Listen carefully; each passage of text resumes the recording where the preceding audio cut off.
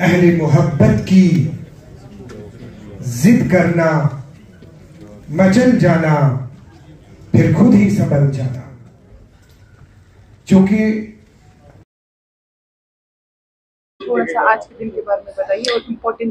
basically world radiography day celebrated on eight November each year this day marks the anniversary of the discovery of X-rays by German physicist Wilhelm uh, Conrad Röntgen in 1895. His discovery revolutionized medicine by enabling the internal structures of the body to be visualized without surgery. Okay, so that's the reason why we are doing it. It's for the radiographers and radiation technicians who are involved in uh, doing all the procedures, the X-rays, and other diagnostic procedures. For uh, that's the reason why uh, this day is celebrated, so that we recognize the role that they play in. Uh, in diagnosis of certain diseases. It's not. They are the backbone of the uh, departments. How is it possible?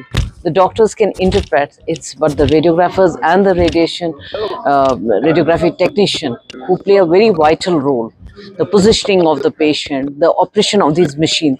That's the prerogative of uh, the paramedical staff. And they are the persons whom we need to encourage, whom we need to recognize the role that they play. Uh, thank you.